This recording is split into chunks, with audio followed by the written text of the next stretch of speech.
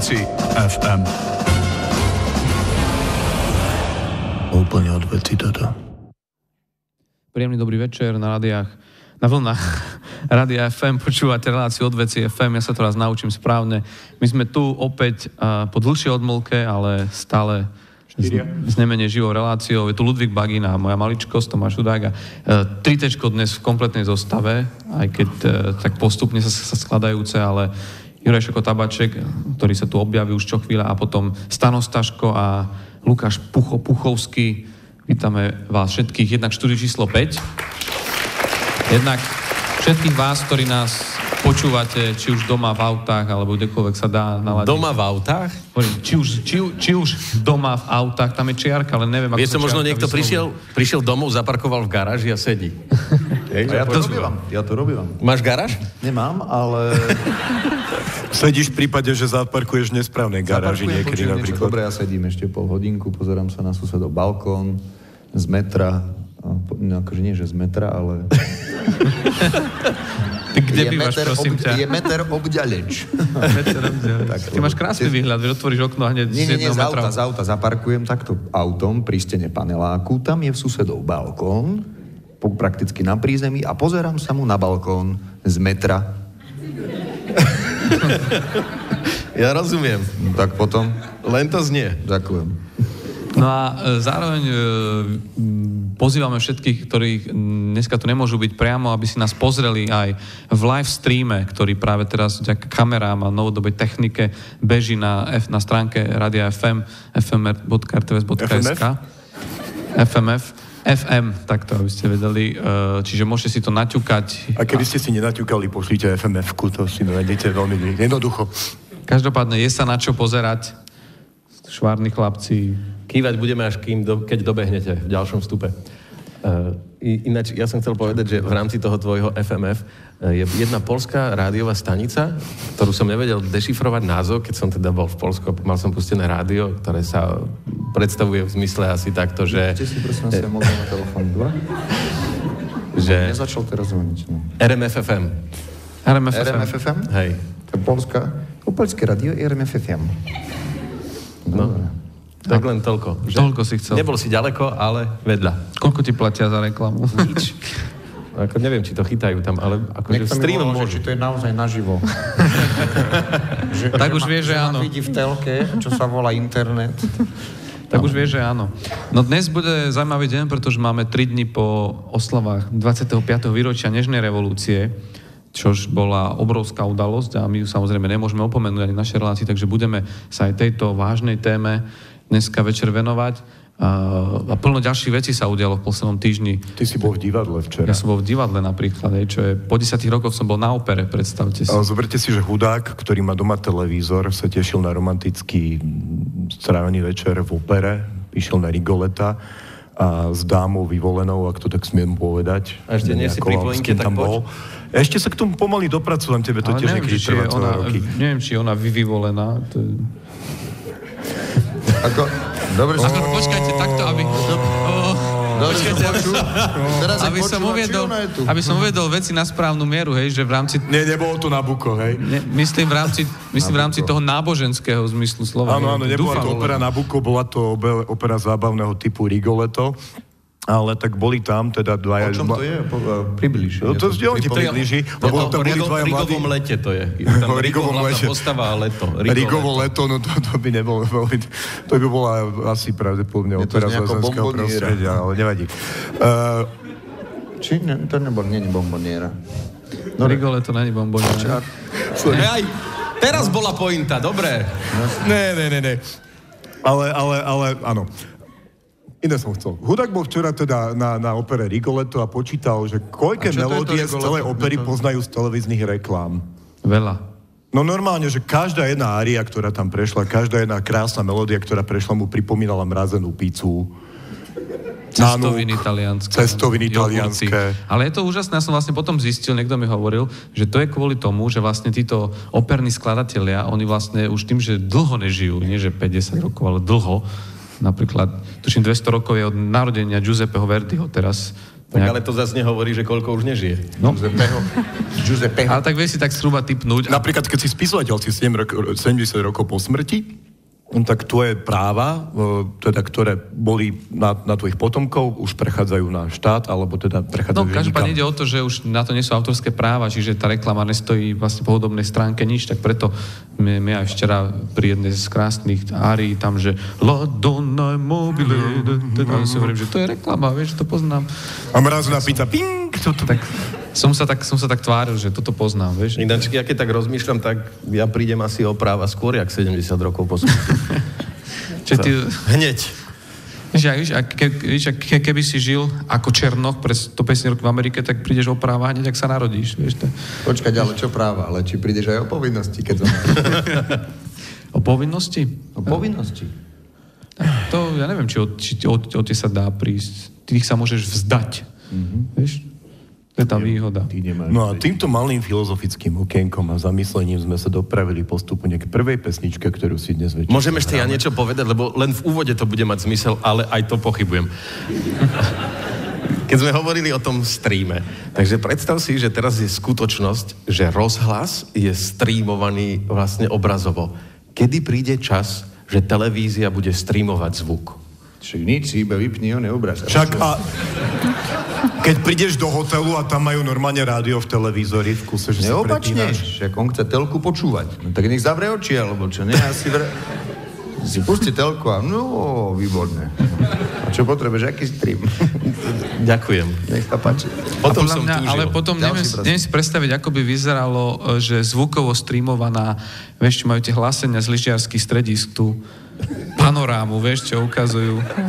To, keď si pustil na zvuk, tak netušíš, čo sa tam deje. Vieš. Tušíš, ale- lebo to je ten známy motív, čo aj Balázs s Zubinakom stále púšťajú, že to je skupina Shadows. A to je taký ten.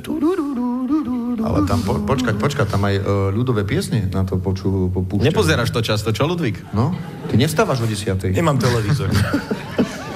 Ale kúpim tak si, kúpim. už vieme, čo si bude kto želať na Vianoce a my si pustíme prvú pesničku a keďže sa chceme vrátiť tak aj do tej doby pred dnešnou revolúciou, tak pustíme si uh, z muzikálu Kdyby tisíc klarinetu. Ludvík tvrdí, že je to od šuché, su, Suchý. suchého a šlitra. Šuchého a slitra. Ale, ale oni to napísali a budeme počuť Matušku Gota a Hegerovú, že jo. No, a pesnička sa volá, že tak, aby ste to vedela. Vedela. Takže počúvate Radio FM od veci a my sme o chvíľu späť.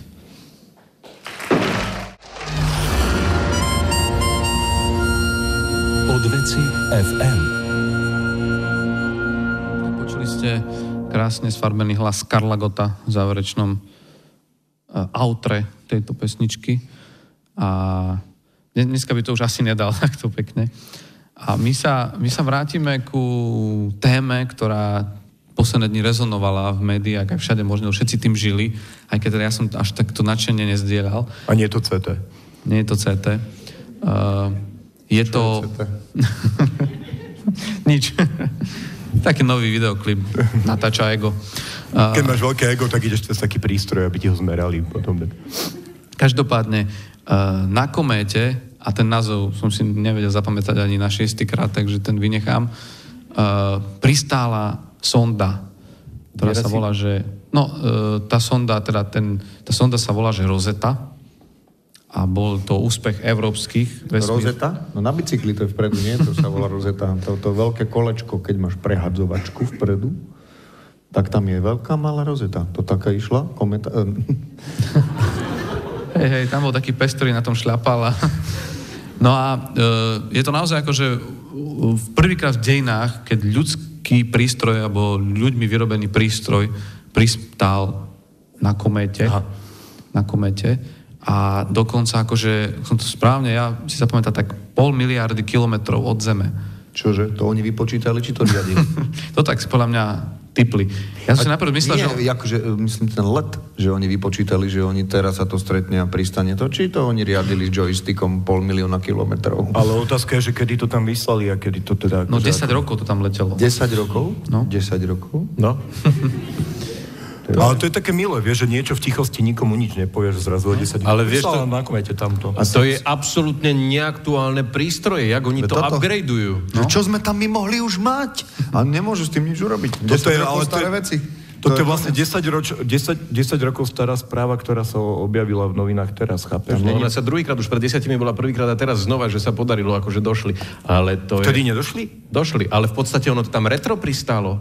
Retro? No. No však ja si myslím, ja som si tak predstavoval tých mimozemšťanov, jak sa na tom smejú, vieš, že tak ukazujú Však vlastne kamarátom, že sami pozeraj, čo to tu poslali, vieš. A na komente mimozemšťania tiež pristávajú obyčajne? No ale tak áno, ale oni sa tým nemusia chváliť, vieš. Á, Oni to jasne. berú, to je to už bežná vec, to ako keď, oni to berú, že zastávka, že na Ja rýchlo, si myslím- rýchle občerstvenie, vieš. Jasné, áno. A Ja čo, si a na myslím, komente? Na komete, no. Je to, oni majú kolotoč. Deti tam posielajú. Vieš, tá kometa obieha, vieš. No. Môže byť, no. A čo je vlastne kometa?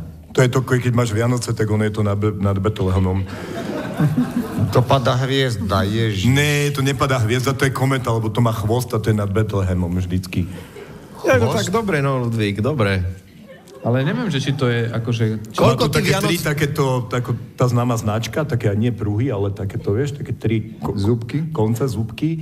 A, Ludvík, sa ťa spýtam, keď videl si už niekedy padať hviezdu? hej, No a to Ale nepadá bodka však? Padá čiarka. Jasné.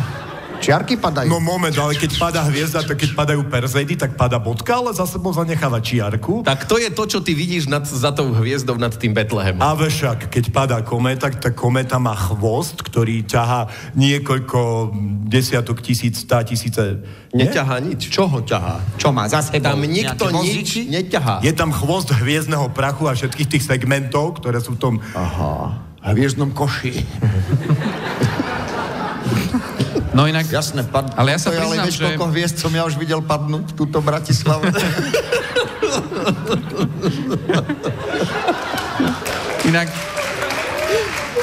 niektoré padajú, niektoré Ludvík minule hovoril, že videl mediálnu hviezdu padnúť. Jasné, sa išiel pozrieť do zrkadla.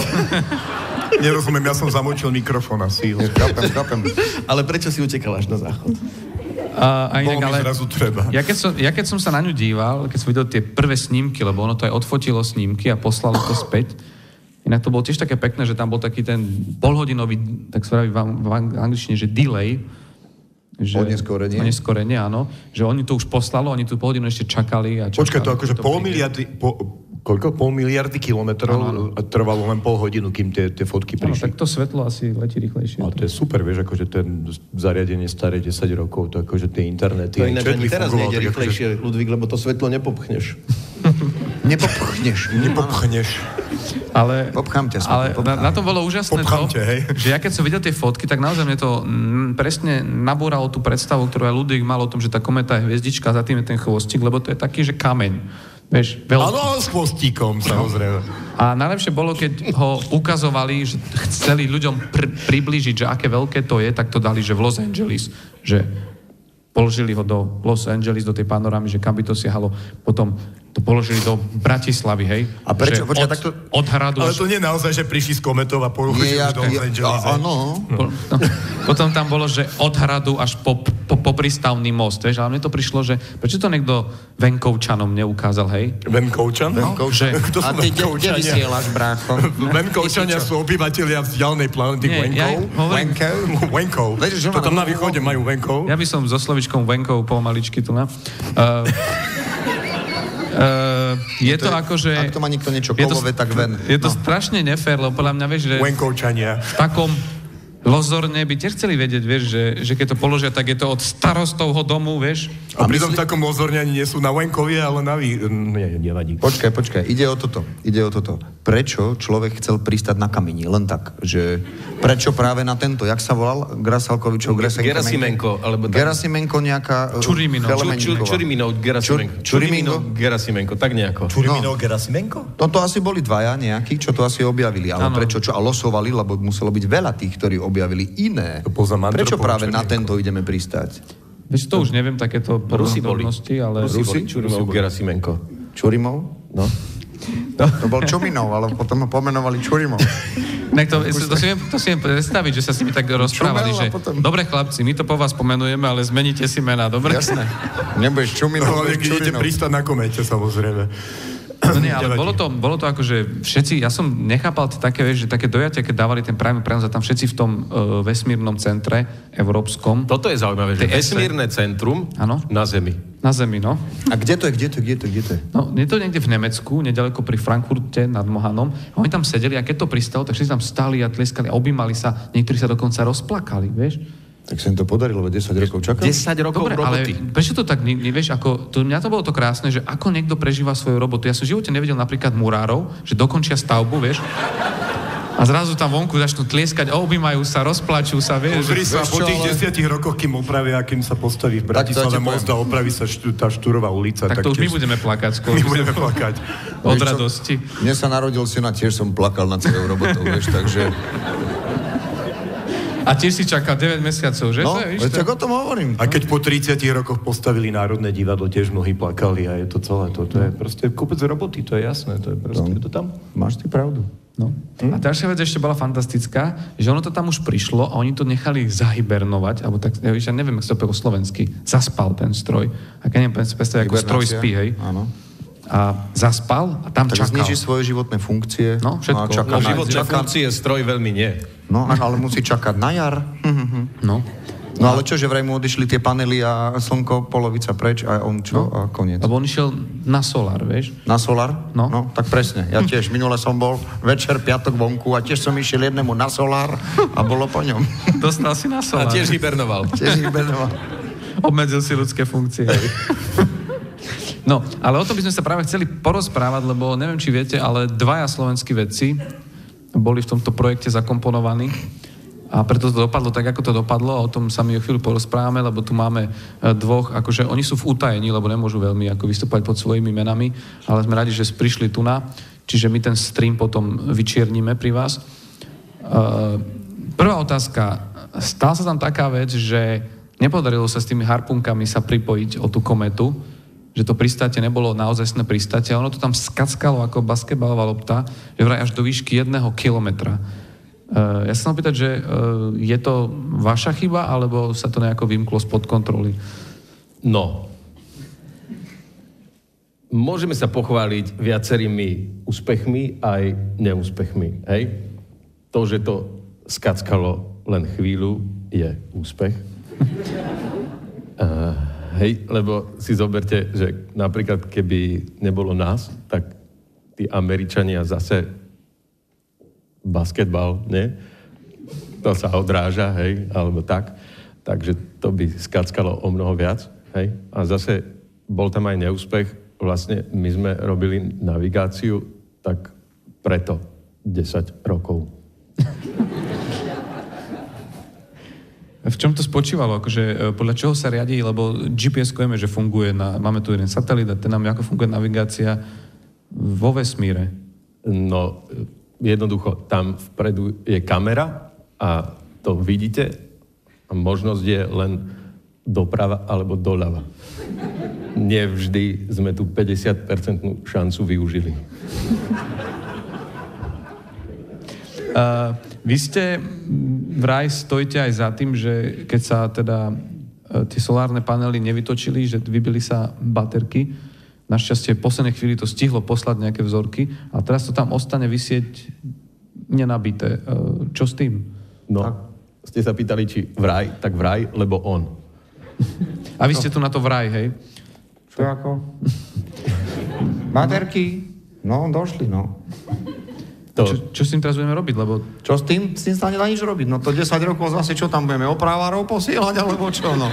Však došli nám baterky, tak budeme čakať, no. Keby náhodou zasvietilo slnko na tú stranu, viete, ako, tak to opravíme a Čiže- nie, no tak on to Čiže, má také. ak tomu rozumiem správne, tam sa kľudne môže stať, že o 50 rokov alebo o 100 rokov, keď, Kľudne, už, kľudne. keď už to bude úplne ďalšia generácia, ktorá už aj nebude vedieť, že tam niečo je, že zrazu ten stroj sa ozve, že Nie, zapípa. nestane. Tie baterky sú pokazené. To znamená, že keď niečo pokazené, to sa neopraví len tak.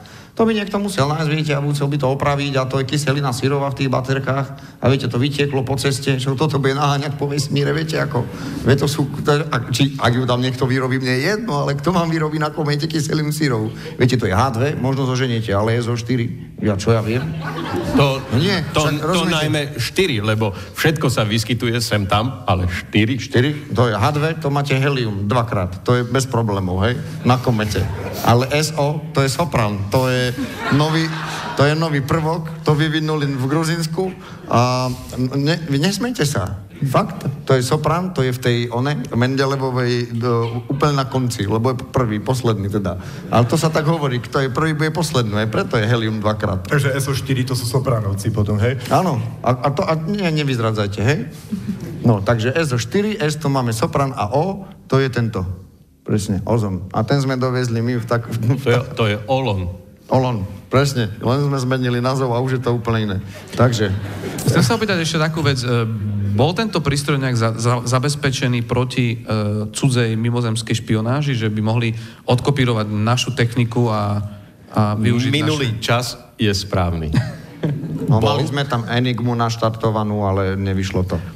Bol, bol, ale už nie je, ale to je výhoda. Hej, lebo teraz, keď to mimozemská civilizácia nájde, môže tie baterky opraviť. Hej. A zase my z toho budeme profitovať. My sme vlastne už vyslali e, zo Sojuzu, to je bližšie ako zo Zeme, hej, čiže chytáme tie dva dní náskok.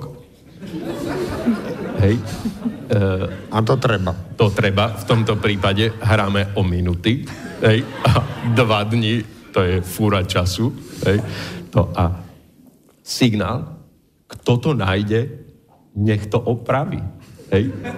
A vlastne e, čakáme. Dobre, uh, hovorí sa pri tom, keď sa pristalo na mesiaci, že to bol malý krok pre človeka, veľký pre ľudstvo. Aký slogan ste zvolili pre toto pristátie? No, tak nepokazíš, dobiješ. Super, ďakujeme teda pekne. Toto boli uh, naši hostia z vesmírnej agentúry. Uh,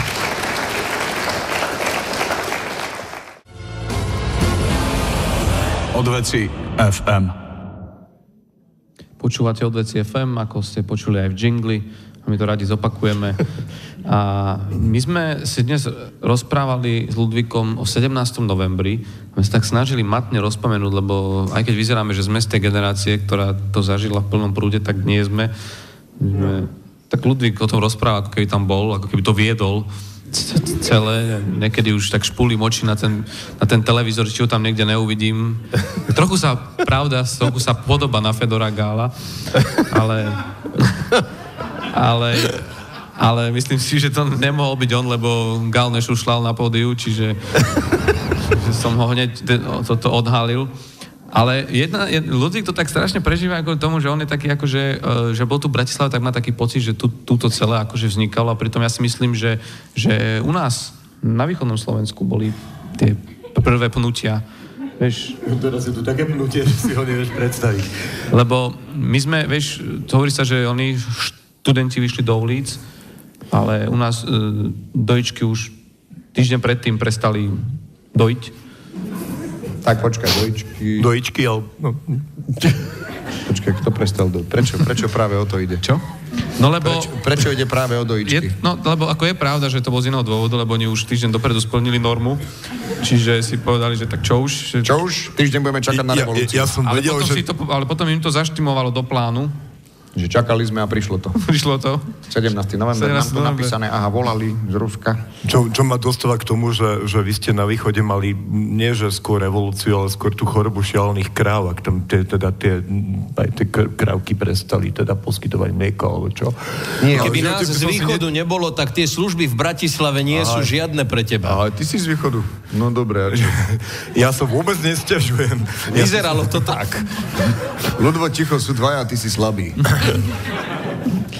Nie, ale je to také inak zvláštne, že 25 rokov a zrazu, keď človek na to spomína, tak si nevie úplne už akože predstaviť, že čo to reálne, reálne, reálne bolo. Pritom je to naša taká celkom mladá No, Ja mladá som napríklad história. nechápal, že prečo sme museli vždycky v škole robiť okraje do zošitov, že prečo sa tie okraje ne, nevytlačili. A to normálne, kokos, akože každého pol roka ste to kružitkom prepichovalo a, doma si a to neprišiel, rysovalo. nemys- neprišiel nejaký vývoj, že potom tam boli vytlačené náhodou? Never ever, no, hej, nikdy, nikdy, prišiel. dokonca ešte nie. No prišiel, len My že sme to nemali. Ne, no tak a čo myslíš? Tak akože vývoj čo? Ešte na strednom odbornom učilišti poligrafickom sme mali normálne, že sme si museli robiť okraje. Ešte Ale-. Ale tam je to povinné na poligrafickom. Doteraz. Tak on je poligraf. Nie celý, len poli. Ale si tak viem predstaviť, že Ludvík, vieš, že by v tej dobe bol disident, odmietol robiť okraje. No náhodou mňa... Vieš, a teraz vieš, ako by sa, by sa stretol v tom väzení s tým Havlom, vieš, ale. Nie. A čo ty tu? Počkaj, Á, ja som povedal, že Počkaj, ja ale ja som okraje. lebo mňa vyhodili z pionierskej organizácie mesiac pred novembrom 89. Lebo si disoval zubárov. Nie, ja som odmietol chodiť na pionierské schôdzky, lebo Disident, ma to nie? nebavilo. Tak som prestal chodiť na pionierské schôdzky a to normálne ma vylúčili, teda nie zo strany, ale z pionierskej organizácie. Potom mi ponúkli znova členstvo, ale ja som ho tvrdošine odmietal a potom prišiel teda, a mama bola z toho celá skľúčená, že sa nedostaneme na tú pošahanú učňovku. Ale prišlo to Koľko, potom všetko. koľko ty máš rokov? Má málo. Nie, ja som mal byť akorát uh, iskra. Hej, či čo som to mal byť? Pionier. No a prišiel ten deň, už aj chlebíky boli nachystané, všetko bolo a padlo to. No my sme v pamätnej izbe Eugena Gudernu skladali pionierský sľub a ľaľa ti ho o chvíľu potom prišla normálne. Ale inak ja, ja by som normálne toto chcel, e, že na, napísať akože paralelné dejiny novembra, vieš, že by bolo, že jak v tom reálnom, vieš, že charta 77, potom niečo bolo, že okraj 88, vieš, Ludvíková iniciatíva, vieš, Vieš čo, môj kamarát, môj kamarát má kamaráta na Orave a, šťastný to človek. on, a ten kamarát má prezývku medzi všetkými Nostradamus, lebo on práve, on, on dva týždne pred novembrom 89 vstúpil do komunistickej strany. Tak vidíš, ale to je, vieš, na dva, vieš, to je tzv. dvojtyžňový komunista, to je... ale vieš, chudák, ale doteraz tá prezývka je, každý, keď mu niekto vysvetľuje, tak on je proste lolo, lebo to už akože to, to neočiníš. Proste dvojtyžňový komunista, to je forever. Ale vieš si predstaviť toho, čo 17. podpisoval spoluprácu? Vieš? Nie. Vieš čo, 17. už boli tie ľady celkom pohnuté už od rána prakticky, lebo ono to začalo toho 16. trochu naozaj tak potichu v Bratislave. Vypočujme si krátky príbeh. Ludvíka Bagina, 17. november. Nie, ja neviem, neviem, neviem, neviem. Ja som si myslel totiž to, že každý, každý človek, ktorý vyzerá, že si je starší ako ja, že automaticky, automaticky vysokoškolský študent a raz ma poslal mama vyniesť smeti a ja, tam sa takí štyria chalani bavili na, na, na dvore pri lopte a ja som im povedal, že chalani, som s vami, držím vám palce, som s vami a oni nechápali, že prečo im to hovorím, prečo im držím palce a pozerali sa na seba, ale oni tiež išli akože vyniesť smeti alebo niečo podobné. A pri lopte? Aj pri lopte, no. Krásne. Možno aj tú loptu išli vyniesť, ale nie, tak akože tie spomienky sú rôzne, vieš. Keď vybuchol Černobyl, tak sa roznieslo po, po, po, po základnej škole, že vybuchla v Rusku nejaká elektráreň. E, Nie elektráreň, vybuchla, vybuchla mliekareň. A my sme mali akurát vypražaný sír. To len predložka je iná, no. A, hej, a my sme mali vypražaný sír, tak všetci sa vtedy chytili paniku a no, a to bolo naše najblúbenejšie jedlo, samozrejme. A to... Nebudem nič hovoriť. 17. november. Ale teraz to, vysvetľuje, ale teraz to podľa vysvetľuje to, prečo u nás týždeň sa nedojilo, lebo v Rusku, Lebo v Rusku vybuchla mliekáreň. Ludvík kecal s dojičkami. V Rusku vybuchla mliekáreň. Ale to mi povedal spolužiak, že Ale v. Sovietskom zväze vybuchla táto To mlieka. sa nemohlo A stať. včani lebo- prestali dojičky dojiť. Keď už Povedali, že ja to môžem, ja to na to môžem vykašľať. Ja si počkam na revolúciu, čo? Budem dojiť. Presne tak. Jasné, no a potom neboli jogurty na východe, no však to je to. Všetci boli choré. Ale vieš, čo bolo krásne inak v tej dobe, akože to znie paradoxne zlé, že čo bolo krásne na tej dobe, no nič, ale, ale, ale mne sa páčilo, že ten humor sa musel robiť tak inak, vieš, tak inotajovo, že nesmiel si tak, musel si to tak dať, aby si to vedel uhrať na, obec, na obidve strany, že keď Čo si ťa humor? predvolali, Kultúra že celkovo? čo ste tým mysleli, tak si povedal však nič, vieš. No, a to, keď si si vtedy chcel kultúru akože zažiť, tak to si si radšej ten jogurt mohol otvoriť. Vieš? Lenže, ne, lenže, nedojili, lenže nedojili, vieš, a teraz a bez kultúry čo? Vieš, tom jogurte- prázdne teglíky budeš pozerať. no. V tom jogurte vtedy tá kultúra ešte bola. Presne tak. Ale napríklad my sme v tej dobe mali veľké prvenstva, neviem, či viete, ale keď zomrel Brežnev, neviem, či sa tu hodí dodať, že mu je zem ľahká, ale, uh, tak, uh, Som ešte mal minus 200 asi. tak, tak choko, uh, k- prvý, kto priniesol tú správu o tom, že sa tak stalo, boli československí meteorológovia. Holuby. Československí meteorológovia, predstav si, lebo tí hneď ráno hlásili, že Moskva minus jeden, vieš. vieš? A to je presne... A to, to mne sa na tom strašne páčilo, vieš, že, že to si vždy vedel uhrať, však sme hlásili počasie, vieš, že musel si to mať tak prešpekulované, že neprestrelné, vieš, že nič si tým iné... To boli podtexty. A hneď To boli potom bol minus 2, hneď potom minus 3, lebo Černenko a Andropov pošli hneď za ním obaja. To samozrejme nasledovali. Mrzlo, no. Mrzlo, no. Tu je zimy. Bol, tu aj zimy boli v Rusku. To nebolo jak Ja, teraz. ale ako my sa Vieš, ale čo teraz, keď hlasia minus 40? Čo teraz, keď v Buffale napadne 3? Minus, minus 40 to musela byť tam Ludvíková mliekáreň. No. Ale, Ale si ja, predstav, jak vybuchne mliekárem, bracho, vieš? Ale tak a teraz ten hryb biely, jak ide hore. A sa to rozprie... Uú, a teraz čo to mlieko A potom prsí ten o, jogurt môže, kyslý, Jo, jasné. kyslé mlieko, to jogurt padá. A to sa stáva niekedy, že keď sa do ovzdušia dostanú určité zložky, tak to niekedy mŕtve vtáky padajú úplne na jednom kontinente. Pršia vtáky, to tak je. No hej. Dostanú sa na jednom kontinente vtáky do ovzdušia, preniesie sa to a tam to pršia. A zrazu mlieko všade, možno na Kamčatke, ale... Máš 10 rokov, si Vieš, dieťa s to- jemnou nadváhou, tvoje najúvodnejšie jedlo je vyprážaný sír, k tomu máš mlieko, spolužiak pre tebo ti povie, že práve to v Rusku buchlo a že to bola mliekareň. Jediná tvoja reakcia, že pšuá. Aj tebe A to sa- buchlo. Čože? Asi plakal kvôli tomu. Ale Bucho, prepač, ale keď ten, to, to No, mlieko to sa do toho vzduchu dostane, ono to putuje nejaký čas, nie? Tak to mlieko sa z toho môže stať skysnúť, jogurt a možno niekde padali aj syry. Tam je, Siri, tam je hore mráz, to je z toho je zmrzlina, brácho. To ty ideš a ti normálne prší, akorát nevieš, Prečo že... nevyhadzovali hore vanilku? Presne čo? Nič, tam sa to chytá na smog a pada smogová, vieš. Kornutok si nazbieraš smogovej a ideš. No tak, neviem, dobre, ďakujeme. A ďalšia otázka? to nemala byť otázka. Ja som ešte chcel dotknúť jednej veci, eh, že teraz aj dokonca ešte také filmy o tom a uh, veľa sa o tom rozprávalo, že, že boli tu eštebáci, čo boli tzv. tajní agenti, lenže to neboli takí, tí, že správni tajní agenti, jak James Bond, alebo ja neviem, kto bol ešte správny tajný agent. Právny tajný? No, on, Nicolas Cage. A, a jak sa volal ten druhý? Tom Cruise. Nie, dol, Tony ma- Brasko ešte bol. Nie, o, veľký, čo hral Nika. No veď Steven Seagal, nie? A tak, ale tak To to... nebol agent. Jak on bol na Inak, východe, počkaj, tak na to východe. V to Prešove bol Steven Seagal hrať gitarovou kapelou, mal doprovod policajný, vieš čo to je? A tak on tam bol v maskovaní, vieš. Masko, ani v tvojom rodnom meste, bracho, veď to si, to si uctí. Vieš čo, ani nie v meste, skôr uh, vedľa, hneď. Však to bol na tejto, tam, čo je tam vodná nádrž. Doma. Hej, tam Na, on? nie na Domaši, hneď vedľa, tam bližšie pri nad. Neviem, jak sa to volá. Dávno som nebol Ružina, doma. Ružin, alebo tak nejako?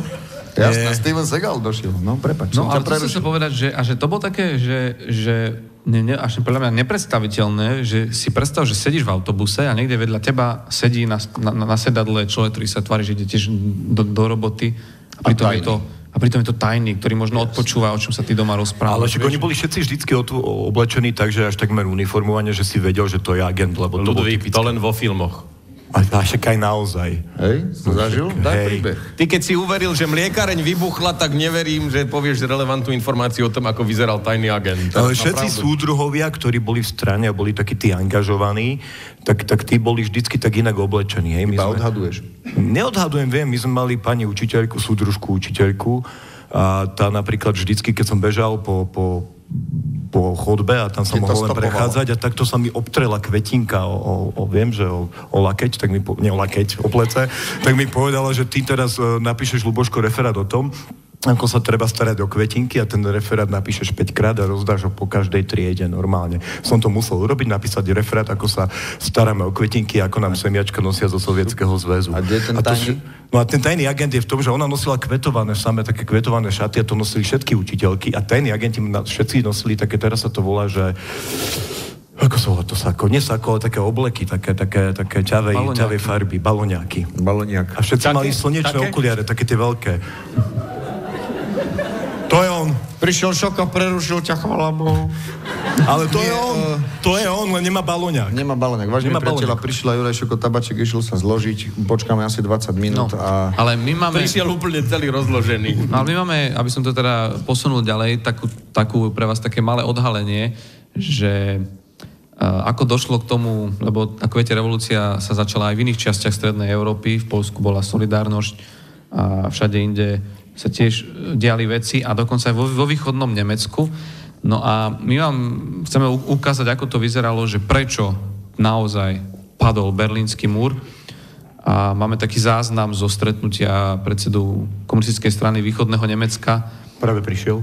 A, nie, nie. E, a potom je tu e, aj zástupca Slovenského murárskeho zväzu, ktorý sa podiela na stavbe múru. Ja, guten Tag. Guten Tag, guten Tag. Ja. Prepačte, nechcem vyrušať. By som sa ešte raz opýtal, či už vieme, kto som. Nie, pardon. Das ist, das ist Herr Obermeister, to je pán Obermeister, čo špecializuje sa na umietka. To sú tzv. To sú tzv. Geistarbeiteri obidvaja e, Das, z východného bloku. das sind die, jasne, Áno, presne, ja som- das sind die Gastarbeiter, die, die sind Slovakischen den. Presne ako hovoríš. Máme probléma, Mauern, uh, zlý. Jak, keby, Slo, keby normálny východný Nemec stával ten múr, tak drží. Aj keby čokoľvek stalo sa. Lenže vy, slovakische Gastarbeiter, haben gegangen, gemachen schlechten, nicht gut. Und uh, die Ometka hat gespadnen. Uh, uh, Armaturen hat, hat nicht gedržen. Was, was, was, was, was, uh, was, uh, Takto, dívajte sa na mňa, sa chcem spýtať, či sme v debate. Chcem, ja chcem ospravedlniť. Ein, ein kleine Entschuldigen, ich, ich, musím, musím machen. Uh, ne, nepoznám všetka slovička anglická, nemecká, čiže kde sme. Uh, ani slovanská, ani slovenská, ani, ani iba, dobre. Tak, uh, kde sme? Jak bol zapustený ten múr? Však to nemalo zaklada. Však to, jak čo to? Však 30 cm, však keď robím psový horádku dám báce. Jaký máte, mi niečo v nemalé? tom, máte mi niečo v tom? A ten betón? A ten betón? Ten betón, o tom sa ani nebavme. No a ten...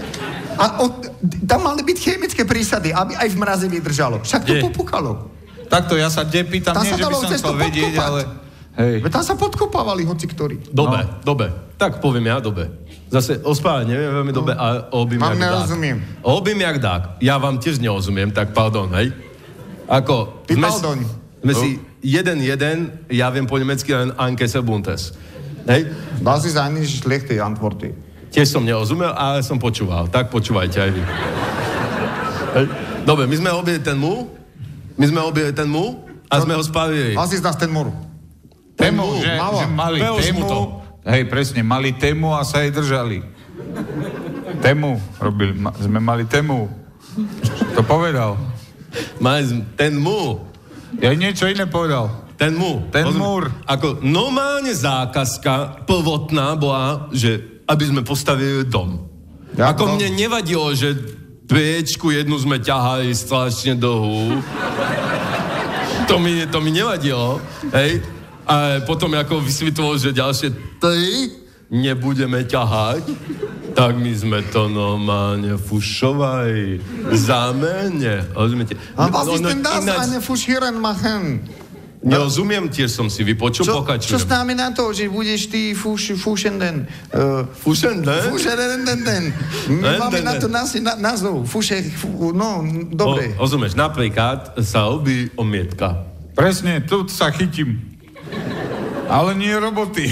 ako, vieš, ako sranda. Nechaj tak hovor. No, normálne, o, o, povedal som im, chapi, vy 3 cm omietku. Presne, to Vy je... robte len 2,9. To normálne, to zub času, norm, my- ináč, záuka na to bola 100 rokov, hej? Hej, a Ale delené 4 steny. Tak sa nečudujte, že to po 40 rokoch padlo. Tak to Hej. nechcem, ale toto som si aj ja vyrátal, ani 40 mi nevychádza. Tak minimálna trvanlivosť 25, 40 to vydržalo. Napadité. Ja nepovažujem to za vysvetlené, ale počul som od vás zvuk a berem, že ste mali chuť. A napríklad základy? Základy boli hlboké. Ja za to nemôžem, že oni kopú tak hlboko. Oni kopajú hlbšie ako základy. A zase nemôžeme obiť hlboké, lebo v Austrálii im vyrastie múr. Ja, das ist logisch. Hej? Lebo Ja. my zase, keď prídeme Slováci, ak makne si, tak robí, až kým nepovieš stop. Ja som na tej stavbe neobil nič, len som hovoril stop. Viete, koľko ľudí tam obil nás? A to mu mal dĺžku. No, sme tam mali taký, také firma, bola z Čace, sa volalo Romokop a to je existujúca firma. To je existujúca firma, subdodávateľ. Nie, Až subdodávateľ. zapel vybehol. A, a oni šlápali ako gula. Boli veľmi dobrí. To je Nemo- pravda, oni problém. šlapali, oni šlapali, oni len chodili, nič neobie. No, vy ste tam asi neboli. A- Ani ja, ale nič. Však keď sa ma nepýtajú, poviem. Ho, ho, hovorte ďalej. Ja tiež mám o muroch príhodu. D- prosím, povedzte. Som mal bicykel, som išiel von, som si ho oprel o múr, zarať to tam už nebol. Tam bola brána. Ja som si ten bicykel zamkol o bránu. Dobre, tak uh, ako ste mali možnosť, možnosť, možnosť počuť uh, k Berlínskému múru a k jeho pádu sme prispeli aj my. Uh, šikovné slovenské ručičky, ako vravia v Čechách. A možno niekomu málo pravdepodobné, lebo nikde sa o tom nepísalo. Je pravda, že týmto sa veľmi nechválime, ale je to možno ďalší historický rozbor pre ďalšie generácie. Stačí, že spadla železná... Že stačí, že spadla železná opona, tu sme, dúfam, my nemontovali. Len, len vieš, akože spadla železná opona a zrazu z toho bol múr. Nie, ale ona spadla. Ona keď spadla, tak už nebolo nič. Vieš, už sa to Dobre, ale keď celé. spadla, tak spadol múr a hovorí sa o opone. Tá opona sa zatvárala a otvárala, pokiaľ... Potom si preberieme také slovičko ako metafora, personifikácia, hej. Symbol, obraz. To už zase Železná opona, železná opona padá. Hej, každé divadlo veľké má železnú oponu protipožiarnú a tá sa nikdy nezatvára, tá pádá z hora a vysúva sa naspäť. Preto, čo chceš viac o tom počuť? Tak budem, ja som nič nehovoril. Ale hovoril. A si hovoril, že sa zatvára. Škoda, že to nemôžete vidieť. Máme tu krásny konflikt. Oni to vidia, lebo sa to naživo dnes streamuje, to ty ešte nevieš. Zakývaj mame. Zakývaj mame. Som si chcel dať ten druhý sveter. No. Aj košelu, no. Nes, nestíham. Dobre, tak uh, my si dáme krátku pauzu a dáme si takú stavbarsko-murárskú pesničku, že po schodoch, ktorú nám zaspieva Banket a po nej Data System zaspieva pesničku Kapitán lode a tá už nám predznamená nášho prvého hostia uh, a uvidíte, prečo sa to bude spájať práve s kapitánom lode. Takže počúvate odveci FM, je štvrtok a sme tu v plnej zostave. Auf Wiedersehen.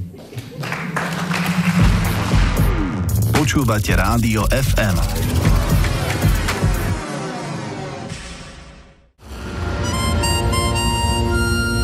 Odveci FM. Štúdiu číslo 5 sme v kompletnej zostave odveci FM a sme veľmi radi, že dnes môžeme medzi nami privítať uh, Tomáša Laga, ktorého asi mal to pod týmto menom poznal, všetci ho poznajú pod menom Shorty z kapely Millhouse. Takže veľký potles.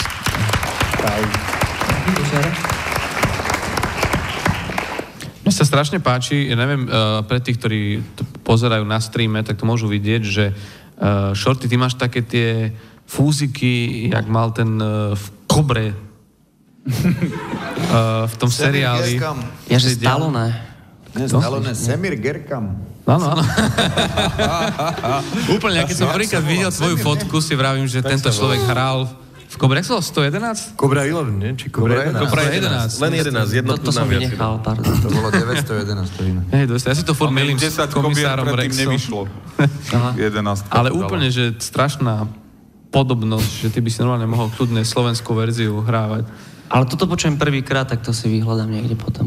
Ale ja som to hneď na- to nadviazal, lebo my sme tu počuli pesničku od data systému, že kapitán lode a ty vlastne si taká lodná kobra, ak sa to dá tak nazvať, že? No, Lodná kobra. Námorná kobra, pardon. ja, Námor... tak preto tá kobra, áno, no, no svojím spôsobom je to taká riečna polícia, kde pracujem. Riečná polícia. Wow. Ale akože nič... Usmerňujete ryby vo vode, papiere a ruky na, čo to má? Tam pre... Kapotu. Na kormu. Hej, na kormu. Pneumatiky necháme tak. Hej, hej. Máte nafúkané záchranné koleso a tak. Počkaj, ale riečna, to mi prichádza do úvahy jedine Dunaj. A Ipeľ. A váh? Prepač, naozaj? Koľko? ešte si 8 dovolím- kilometrov? Ale je tam... Je. je. Koľko? Neviem. Os, dajme 8. Ne, zostaňme pri 8. Dobre, ďakujem. Lebo tam sa povahu ťažko plaví, tam vieš, koľko je priehrad? No, to len, ved len pováž. No, No, pováž, no. tam by tá loďka musela skákať. Čiže ale v akom diapazóne sa pohybujete? No tie lodičky môžu byť aj malé lodičky, ale môžu byť aj veľké lode. Ako To ty a kontroluješ aj člnky? No? A aké Ale máte? počkaj, počkaj, a nie všetky čunky. No, Kanojky, každý druhý. kanojky, pramice. Pra, pramičky, hej, dojdu aj pramičky, aj remorkéry. Sem tam, A tam čo je príde. aký maximálny ponor? Maximálny ponor? Akože najväčšia loď s takým veľkým ponorom. Čo... Akože z, z nejakej slovenskej flotily, hej? My máme flotilu. Môžem sa... My sme na Nie Slovensku. My konkrétne, máme... nie konkrétne my, ale niektoré spoločnosti to- Áno, hovorí sa tomu flotila, keď vlastnia viacej ako dve lode. Aha. Á, tak Tak ja mám potom flotilu bazénikov. Mám tri. povedať, že frajer je. Počuj, ale uh, čo to znamená, že my máme napríklad vojenskú flotilu námornú, lebo... Nie, nie, nie, nie, nie. Ono, s- takto... Že my by sme- Lietadlovú loď máme zakam- vraví- v Komárne zaparkovanú. My by sme veľa vody nenamutili, kebyže nás niekto vyzve Fúha, do, no do nejakej nie. námornej bitky. No jedine, že by sme zavali Gabčíkovo, tak to by bolo... Alebo pustili. Ale... To by sme namútili celkom. No, Na tej počkaj, ale- vlne by si bol pri mori najrychlejšie. To je pravda. Nie, ale teraz úplne vážne, že ty si sa k tomu ako dostal? Že ty si to vyštudoval, alebo... Áno, no ja to dám hlavne na pravú mieru, že vlastne takisto ako funguje nejaký dopravný inšpektorát, kde si kúpim autiak a idem ho tam prihlásiť na značky, mm-hmm. tak keď si niekto kúpi loďku, tak dojde ku mne a ukáže mi, že toto mám, toto, tu som to A ty kúpil. mu dáš a ja značky? mu dám, no áno, evidenčné označenie, on si to musí nastriekať na tú loď. Čiže čo, Barbora alebo Ne, ne, ne, Greta? malé lode majú čísla a veľké lode majú názvy. OK. Čiže normálne to tiež rozdelené, napríklad, že keď som ja chcel loďku, tak by som, Techničák normálne tak by som vystavím. KE 4, 5, Ne, Nie, KS. 666. Vieš ako, teraz rozoznáš veľmi ľahko veľkú loď od malej. Veľká má názov, malá má číslo. No dobre, ale tak niekto... Vizuálne by si si nevšimol, že ide veľká Jasné, loď. to ja, jasné. Pozriem na značku, ne, Vieš, pre teba môže aj tá malá znamenať, že je veľká, ale nie je. A keď niekto nazve loď Beatrix a príde druhý, tak už musí dať Beatrix 2? Ono je v tom taký fígel, že keď, keď sú veľké lode, tak eh, prvý názov je skratka spoločnosti, ktorá to vlastní pomočka názov lode. To je ako Toto napríklad. zjednodušuje prácu. Ako napríklad SPAP pomočka Muflon. Slovenská plavba prístavy pomočka Muflon. A Muflon je rada remorkérov napríklad. Muflon. Ale to hej, to je A pekné jedno, jeden má takého aj pekného namalovaného boku. To je veľmi... A zase Osmička. Sú aj také odrody muflonov a to je zase rada remorkerov. Oni sú tak vy, špeciálne vyšla, vyšlachtené muflony. Remorkery sú, môžu byť ovečky napríklad, alebo ja neviem. A mne sa páči, že tam si skôr čakal nejaký, že žralok, alebo čo, že muflon. Neviem, Tak ale nemáme moc z čoho čerpať, To je pravda, no. No. Chobotnica, vieš. Tiger je jeden bager drapákový. Tiger. Sa volá, že. Tiger. A to je ten, čo ťaží štrk, alebo prehlbuje dna. A, no ča, ťaží štrk. Ťaží. On vlastne, oni Tiger je- začnú ťažiť ten štrk, ale aj vyrazím spodná voda a už, ej, musíme už mať loď. Ve- Aha, jasné. Aha, tak Na šorty vy robíte aj také Pri. Žiline tak bol, prepač, veľmi dlho uh, jeden žeriav utopený. Ten nebol, nebol loď. Inak, Ale mohol byť. Nežartujem. Stále žeriav. prepač, ale ináč, niekde ťažia štrk No. a vyrazí im tam spodná voda. No. Ako tam dostanú loď? Loď príde na kolesách, ale je nachystaná. No. No, či jak myslíš, že čo? Že či tu Vieš, loď že- vyrábajú na vode vždy? Že aj preráženom do rana musíme loď postaviť. Lebo ako stavajú mosty na vode? Čo To tú asi aj no- vodu zastavia? No. No, to je tiež otázka, no. Alebo urobia takto. No, dobre. Obchádzku. Áno, presne. Veď, veď, veď aj keď cesta je zatvorená, tak je obchádzka, oni to tam opravujú. Presne. Pre, pre ryby je biokoridor napríklad. No je viacej spôsobov, ako sa tie lode stávajú. Buď sa spustí po výťahu, alebo ešte taká finta, že, jak si aj ty hovoril, že keď je nejaká rieka, tak sa vykope jama pri nej a potom sa vykope nejaká ďalšia cesta, skáde tá voda tam natečie a tá, voda sa tam, tá loď sa tam preplaví. Vidíš to? Oni nestávajú lode v halách, ale v jame. No? Jasne. Aj v suchých dokoch, pravda. To sa dá Alebo tak sa tomu hovorí, áno. Hej, aha, A keď je príliš veľká, tak... Ďakujem za Suchý ľad a suchý dok. Si aj vedel, len si nevedel, že vieš. A Vieš, ty, aj kamery sú tu, že by som to nejak chcel zdôrazňovať. a ty si zažil aj takú nejakú raziu na lodi, že ste išli po niekom, kto mal na čierno. Ale on len nešpezetky dáva.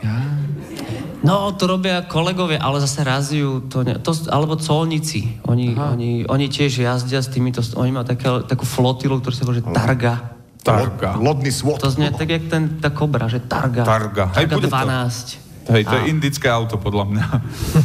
Lebo kedysi bol tak, že existovali, že Dunajskí piráti, ale to už asi nie je tak. Ale Len chodili na bicykloch. On na breží. Vodných, vodných bicyklov. Na vodných bicykloch, hej. Po všetkých ramenách Dunaja. A ich museli zrušiť, lebo nem, e, týmto Rakúšakom sa nemenila scenéria. Celý čas tam boli, jak išla loď. Ale naozaj, že oni operovali akože po, po, po aj, aj To ako čo to bola? Dunaja. To bola operatívna Plavebná jednotka. nemocnica, že Áno, operovali? On pristavil, zoperoval a išiel ďalej. A čo robili tí piráti? No normálne zbíjali, okrádali a tak. To bolo kedy. A to tak Ostatné lode. 1720. Áno, 1700 čosi. však to, to existovalo. To vtedy sa začali Je vodruši 1700. stavať. To také čosi, také nejaké... Ale to, ale to zbíjali len jedným smerom, vieš? Po prúde. Vidíš, ty už To oni začali tu na Slovensku a skončili tam dole pri tom Čiernom mori, tam sa to vlieva. Áno. No a to, čo ozbijali, dali na cestu naspäť. Ale No. Ešte, Tak dobre, si že, robili výlety. ešte dobre, že tu zaznel rok, lebo Shorty sa už zľakol, že nemajú EŠPZ. No. Nie, ale to má, vieš, akože kedysi, keď chodili napríklad aj po váhu. Je, ale čo, ty všetko si nepamätáš. Pova- 1700. Povahu plotníci, počkaj, hovor. Teraz Neboli si ešte Tí gorali, keď chodili k moru po tých všetkých tých riekach, ktoré, sa, ktoré, mali, ktoré Áno. boli e, teda splavné k moru. Orava, Vách, Dunaj. Hornát ešte. No. A, No nie, ale Rajčanka ide cez... Či to nie? Áno. Že? Áno. No. no. a ja som sa znova stratil, prepačte. Nie, nie. Ale len som chcel vedieť, vieš, že, či, či, či je takéto, ma- že vtedy oni nemali žiadne špezetky a nič. A neviem, že ako oni vlastne potom po tých, tými loďami, a to tým asi neodpovedal. No asi chodili 1700 späť, na oni neboli to drevo k, k moru a potom sa vracali späť a oni mali potom... A čo, na čo tie plte napríklad? Ako ich ťahali celú cestu No naspäť? Oni Nič, tak ich rozložili tam. a skúrili, nie? Oni to nechali tam. Oni prišli stopom No domov. akože spálili, čo, čo budú kúriť drevo? Ako by si v 18. storočí chodeval stopom. No vozom. Vozom stopom, takzvaný stopovoz. To normálne si si zadal, Si si najskôr vytepal. domov, A inak, uh, ja by som sa vrátil, uh, Shorty, a uh, teba to baví, hej? Čo? Neviem, či si si všimol, že hostovi u nás nie je úplne veľa času venované. My si potrebujeme pokecať. Ale mne to aspoň rýchlejšie ubehne. Okay.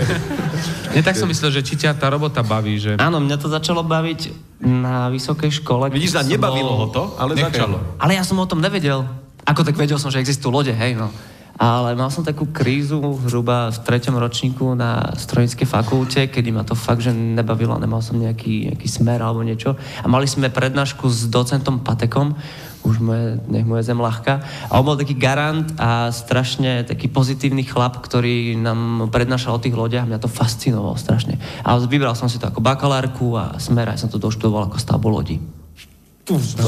Wow. A to je náš fotograf Martin Haburaj, ktorý tu dneska nie je. Muráň, áno. vedieť. A teda ty si to tak nejak študoval, že keby som bol tu, hej, napríklad na ostrove, že ako si postavím loď?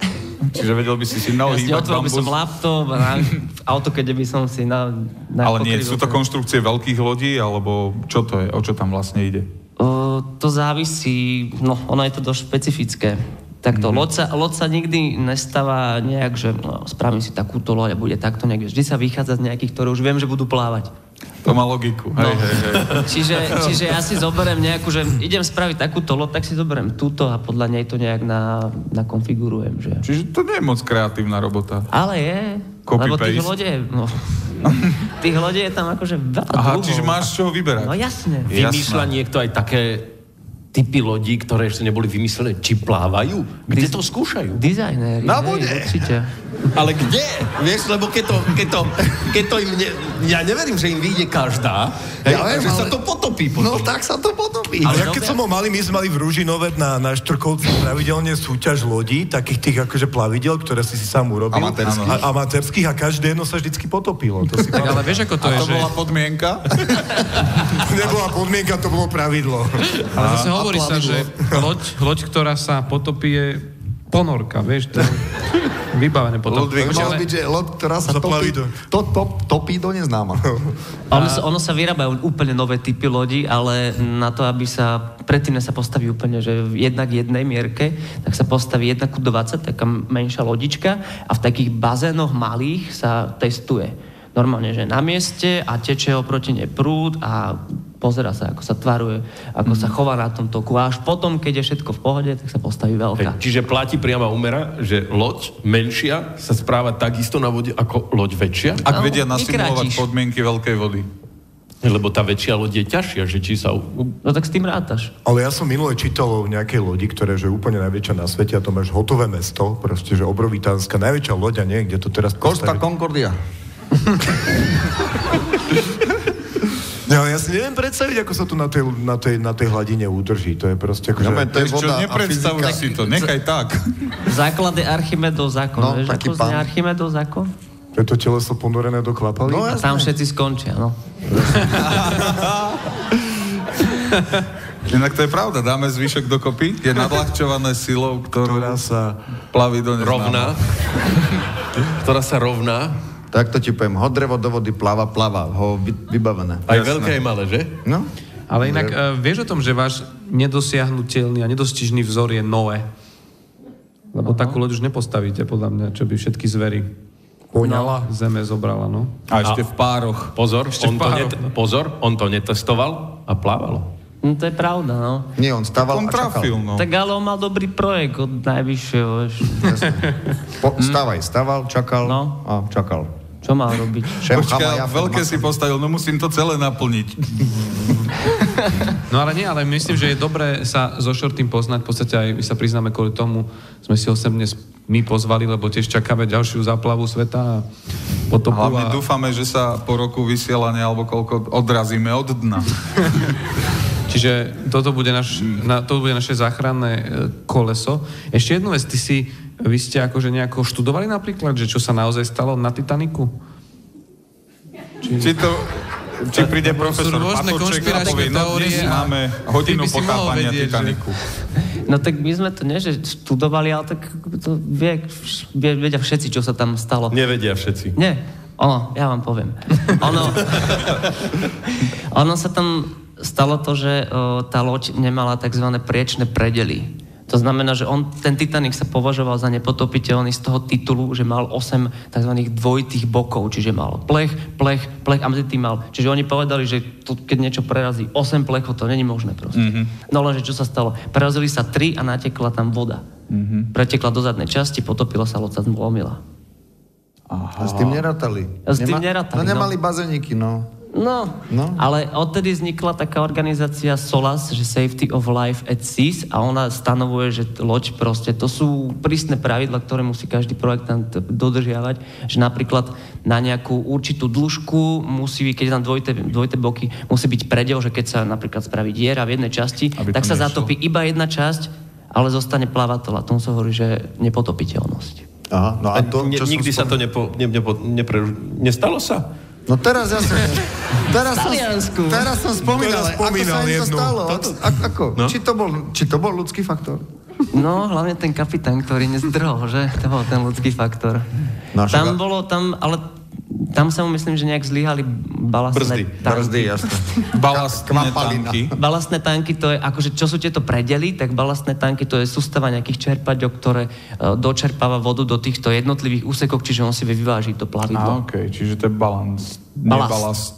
Ale Balast. balast je odpad. Ako... No, lebo tá voda, ktorú tam načerpá, je odpad, Zo ktorú načerpá... No, presne. Okay. A zlyhalo toto. Ako? O, Potom, ako zlyhal kapitán, zlyhalo toto, hej? No nie, on vedel, že zlyhal, tak povedal, že ja si odskočím tu na, breh a hneď som späť. Možno boli veľké vlny a bola nadmerná produkcia No, to je tiež možné. a bolo treba plniť a už nebolo kam a už to nevyvažovalo. Mne to je jasné. Hneď, ak takto mi to vysvetlí, že hneď po chvíli Vidíš. neskôr. To je ale- jednoduché. Tak, áno, áno, hej. Dobre, No tak dobre, no. my sme mali za sebou tento úvod. Uh, K hudbe sme sa zatiaľ nedostali, myslím slovne, ale dostaneme sa názorne a potom sa dostaneme k hudbe aj slovne. Takže teraz nám zahrá Shorty, ale to je kapela Milhouse v takej akustickej verzii a príde mu na pomoc Maroš Slamienka, Dobrá pamäť. ktorý bude ho doprevádzať na perkusiách, ak som správne trafil ten nástroj. Nie. Áno, Áno? perkusie. Takto. A Zahráme vám teraz jednu pesničku, je to taká, také tej mojej eh, solovej tvorby a má názov Butterflies in my head.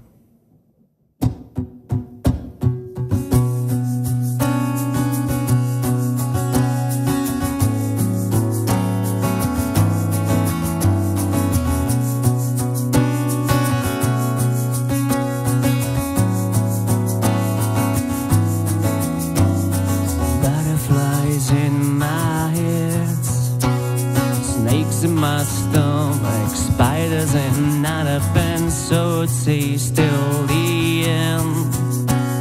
Fly on the window, backside rest everywhere. It's time to take off my clothes.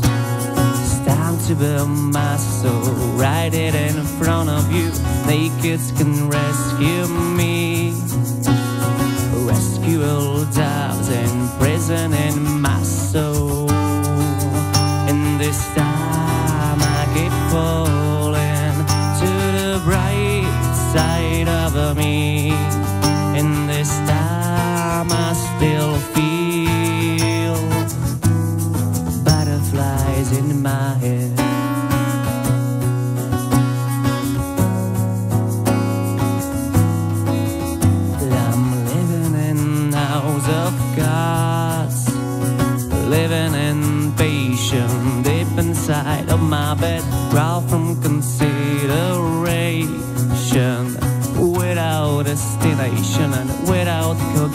It's time to burn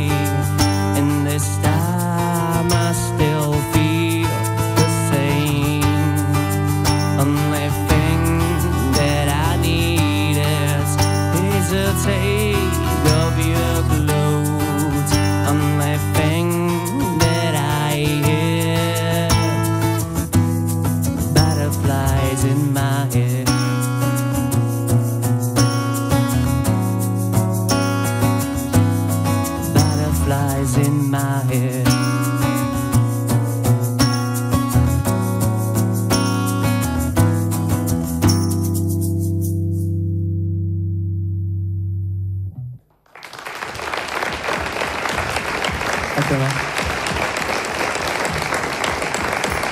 To bol Milhouse, Butterflies in my head, ak som správne rozumel. E, Motýle v mojej hlave.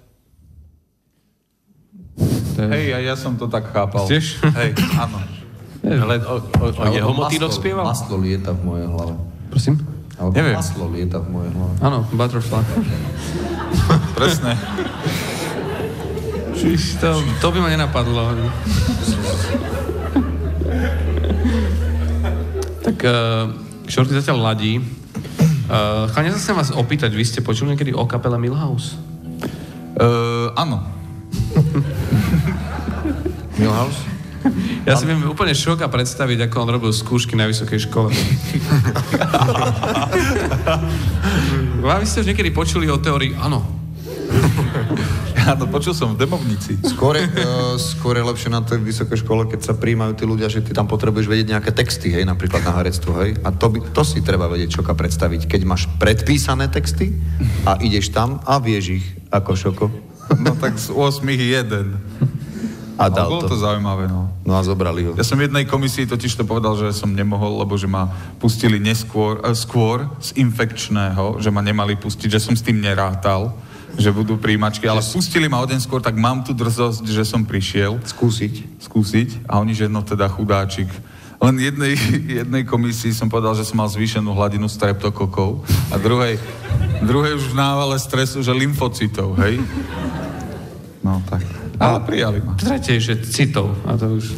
Tak no. Tam, tam, tam, tam si prešiel. Inak Šoko, ako to bolo, keď ste boli teraz v Číne a ty si si musel vymýšľať tie texty, alebo si si nevymýšľal, lebo to už to bolo jedno, nie? Teraz to ti nikto Keď sme hrali pre Číňanov, no to som si mohol, ale som radšej išiel svoje, lebo čo keby. A tam ma nikto ani neprekladal? Alebo nebola Nikto, tam oni to bolo čítačka? sympatické. To bol Alebo- medzinárodný festival v Číne bábkového a tieňového divadla. Zaujíma vás to? Nie, ale ja vám to dopoviem. A s bábkovým divadlom Žilina sme tam išli hrať predstavenie, ktoré, ktoré sa volá Peter Pan. Je to viac menej bábkové predstavenie, asi aj tým, že sú tam použité bábky. A sme to tam hrali a, a po slovensky pre vraj vypredanú sálu 900 miestnu, kde sedelo asi 200 ľudí. A a oni nerozumeli ničomu. Absolútne ničomu, lebo sme to hrali iba po slovensky. Takže neviem, aký zážitok si odniesli, ale musel to byť silné, no. Dostali sme, samozrejme, dostali sme cenu a nechcem to zľahčovať, dostali sme cenu za Outstanding Play. A vlastne doteraz sme neprišli na to, čo to tak asi môže znamenať. Ale to sa dáva všetkým, ktorým nikto nerozumel. Že. No, asi, hej, že... Hej. Hralo vám to dobre. Šorty, ty si už dostal nejakú cenu? Či ešte len čakáš? Rozmýšľam. Ale myslím, že nie. Nie, nie. Ani diplom na základnej škole za To organizovanie zberov. utechy, no. Diplomy. Dobre, uh, prejdime k hudbe. Ja som si tak uvedomil teraz, ak som tak hral na tej gitare, že ja tak typujem, že teba tá hudba začala fascinovať, lebo tá gitara tiež pripomína loď. Nie? To keď položíš na vodu, To nemá gitara inak. to by malo ustáť, nie? Ale tá gitara by mala ustáť, nie? Tú vodu. A, no áno, kapela hrá, keď sa loď potápa, to je... To je to bolo smutné inak sa nepotopíš. No. A na, na koľkých takýchto potápačkách si už hral? Prizn- priznám sa, že na to tiež čakám. Ešte čakáš, no. No to bude síce veľký, ale posledný koncert, no. Nevadí, ale užijem si ho. Ale, ale tu budeš môcť na rozdiel od Elánu len raz povedať, že naozaj posledný, vieš. uh, Čo ty vieš? čo, to je pravda, no. Vieš, že by sa zachránil, že by si odplával na tej gitare, vieš, na konci. Tak vám by nezahrali, keby sa potápala to loď, že oni by povedali, že to sa ešte určite raz bude potápať. Nehrajú, nemôžeme sa potápať. Že by ten posledný kričal, prídavok, prídavok. ale neviem. Uh, ako si sa ty dostal vlastne k tomu, že, že hráš, že si založiť skupinu, lebo som začul také slovičko, že demovnica. A to sa mi nechce veriť, že ty si si týmto prešiel. No, prešiel, čo, čo si pod tým predstavuješ, že prešiel. Preplával. Preplával si tým.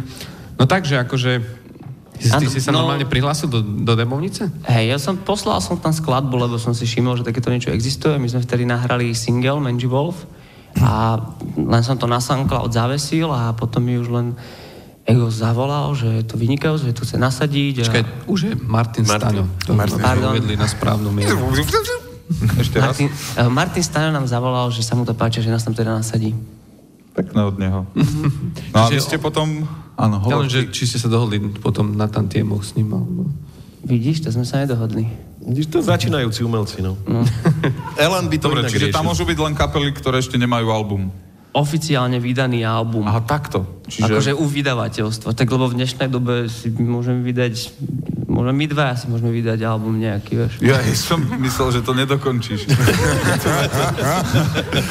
OK, že my dva sa môžeme vydať. No ale... Uh, Album. Áno, album, chápem, chápem. Môžeme, no ale uh, musí byť album nejak, niečím oficializovaný, aby bol už naozaj album, že aha, už môže byť aj v nemenovanom Tesku predávaný. Asi vydavateľstvo, nie? Áno, vydavateľstvo je to oficiálne, ktoré si dá na to punc, Aha. že Aha. my sme im pomohli. A keby si si vydal s ním album, hej, a on by si dal punc, Môžeme si my vymysleť aj vydavateľstvo a vydať to pod tým vydavateľstvom, čiže potom to oficiálne vydáme. No a máš smolu a nemôžeš ísť do demovnice, no tak super. No ale nemôžeš do demo, no. A to je nevýhoda, lebo do Demovnice aj my s Puchom máme pripravený projekt, ktorý by sme tam chceli pretlačiť. Nie, naozaj, malo sa to volať Olovnica, tá kapela. Kapela. Aby sa to hneď evokovalo, že kam to patrí. A bude to mať tematiku nejakých polovníkov, hej? Práve, že nie, no. nie polovnica. Olovnica. Olovnica. To sú murári. Murári. Aha, ok. Áno, no. Haben Sie das vergessen, oder? A pesnička sa mala ako volať?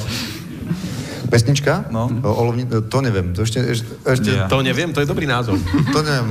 No, ale to zajtra vymyslíme. Hej.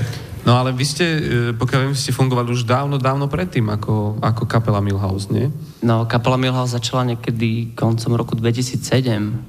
Nedávno som inak našiel jedno video, sme hrali koncert niekde vo Viedni. Bolo to celkom po, na pobavenie. Vo Viedni? Začínajúca kapela neznáma my sme vo Viedni. No, Na tak to je predmestí kúsok, to je najbližšia metropola, no tak kde Lebo tam, hrať? tam môžeš ohlasiť, že si megastar zo Slovenska, vieš, a nikdy to nemá ako verifikovať. Že? Podľa mňa hrali len na nejakom off, off, off bratislavskom projekte a už to bolo vo Viedni. Oh, oh, oh. Pardon. Ten, ten zvuk nič neznamenal. A tam ste hrali a? To bola taká súťaž kapiel, ktorá sa odohrala tu a my sme vyhrali a boli sme jedni z tých prvých a oni nám vybavili, že sme kup- objednali dva autobusy, narvali sme tam kamošov a išli sme do Viedne a tam sme to Ste rozbalili. to a... exportovali. Do, Tak, dovez aj- si, ale dovez si sme- svojho fanúšika, Áno, aj si ho áno. odvez naspäť. Áno. To bol vždy môj senning, lebo vždy, keď sme hrali koncerty, tak tam skoro nikto nedo, nedošiel, tak ma napadlo, čo sme si to zavodli, že fanúšikov, Z jasne. vozy, jasné. Tak sme treba. si ich dovezli a bolo to super. Ale to je super, lebo aj tá cesta určitý čas trvá, povieš im, že čo chceš od nich a naspäť si to zhodnotíš. Jasné. A len musíš investovať, to je všetko. A ja som bol tiež v Londýne na koncerte také slovenskej kapely, vedľa hrali Horky Žestlí, že vo vedľajšej miestnosti a v tej, v tej druhej hrala taká známa kapela, taká dobrá kamera, kamarátska kapela. A to Žiliny. keď Horky Žestlí Nebudem hovoriť radšej. Ale to si Ale tam veľa- som bol jeden jediný, jeden jediný divák na tom koncerte. Ale keď hrali vedľa horky, že tak ty si veľmi nezahrali. A vieš čo, tam to bolo celkom akože zvukovo izolované, celkom, celkom dobre, ale ja som prišiel ako A vychutnal si si koncert? Vychutnal, lebo ten bol naozaj dobrý, no. A čo to bol? A, nepovieš? Nemôžem, nemôžem, nechcem, nechcem. Depeche Mode, podľa My mňa. sme hrali minulý týždeň v Nitre a z hodovo okolností tiež v Nitre v centre hrali horky, že slíže a cítili sme to. Ale zahrali sme si dobre. To je A super. koľko bolo? Dosť. Hej, hej, presilovka Akurát. nebola. Lebo v divadle sa hovorí, že keď je presilovka, že keď je viacej ľudí na javisku ako v hľadisku, hej, že hráme 11 a 9 pozerajú, hej, tak sme sa stretli v trochu inom pomere. Také nejaké ratio, hej? Že... No, tak ale to už väčšinou asi ale nespúšťajú také predstavenia, ani neviem, či... Ale by si sa divil. Hej? Ja, tak ty máš skúsenosti. No, No a- keď hráš v škôlkach, tak aj 10 je ako publikum. Jasné. Tak, ale Ja som vás tiež outstanding. Uh, áno, samozrejme. Na odchode, ako si obliekajú bundičky. to je slovenské standing ovation. Berem bundu a odchádzam. To je, tá, to je bundingovation. Hej, hej. Ty sa kláňa, že oni už sú chrbtom, jedna ruka vnútri a... Lebo jeden ešte Čo je, vpredu More, to tlieska, je mu je? blbé. Tak aj ja zatlieskam, ale už si dávam tú bundu. O koleno, alebo tak. No, už. U nás v divadle zase máme šatňu. Šatňu? Ja aj tak. no tak to vás potom zbavuje standingov. A nie, to si nemyslím. Odcho- Naozaj. odchodové, ma- odchodové sme mali. To je tak, že už odchádzajú, ale vpredu tlieskajú dvaja, ale vy sa vrátite a oni všetci sa zastavia, ale už pri dverách. Ale zastavia, neodídu. Treba im asi povedať, že ich je málo kedy vidno, že sa nemusia hambiť. Lebo Diváka? svetla máš do očí. Len taký hint, že keď chcete odísť, urobte to. Nesilte to. No, podľa mňa je to fér, nie? A u nás, u nás e, na kláňačku zasvietia aj sálu. Á, tam máš. Chceš ísť preč, ja. Vidíš diváka, kto na teba bol. Si ťa Ja si ťa pozriem. To inak e, na koncertoch nefunguje, že, že sa zasvietí medzi divákov. Ale tak robia Ale sa hej, sú také tie veľké- Hypovačky. My sme mali na škole takého jedného profesora, ktorý si fotil prednášky. A keď som došiel pre zápis, tak on, že no dobre, ale že nájdete sa na troch fotkách. A tam, a taká plná sála, tisíc ľudí a tam štyria, vieš. A ja. Ale to sa dalo, vieš, to sa dalo riešiť, že by ste sa dohodli na, na spoločných nejakých znakoch, vieš, že by ste začali nosiť rovnaké nejaké šiltovky alebo klobúky. Inak ale- No, že o tom nikto nevedel. Pozera, že to, čo To ste, ale, že čo... ale keď to urobil po prvýkrát, tak už ste vedeli, že to sa asi bude opakovať, tak ste to mohli dávať, vieš, že No, nie, Vieš, len keď sú tam štyria, iba, no. keď sú tam len štyria a piati pred tebou ukázali na tých, tak už akože nie, nie, nie Šorty, je... a toto by ste mali robiť, keď za tebou niekto príde, že chce autogram, vieš. Najdi sa. Nájdite sa. vieš? Že A, a budete tvrdiť, ja som na každom vašom koncerte. Najdi sa. No. A tak to môžeš dávať prezenčku rovno, vieš. Jasné. Dobrý deň, na koncertík, podpis poprosím. Pekné. Dobre, nájdete sa, sadnite sa. Áno, áno. Ja Uh, počuj, prečo vy spievate v angličtine? No tak je to istá forma nástroja, takisto ako hráme na gitarách, takisto ako hráme na bicie, a takisto ako hráme napríklad podladený na uh, podladených gitarách na, na C štandard, tak takisto spievame po, slov, po, po anglicky. Je to proste istý nástroj. A dobre sa nám v tom tvorí a dobre... A Kto píše texty, ty? Ja píšem texty a ja ich píšem. No, sem tam ich korek... Korekciu robím sem tam ja s, Má- s píšem. Márošom, lebo lepšie, keď má niekto taký... A kto ich číta? To neviem.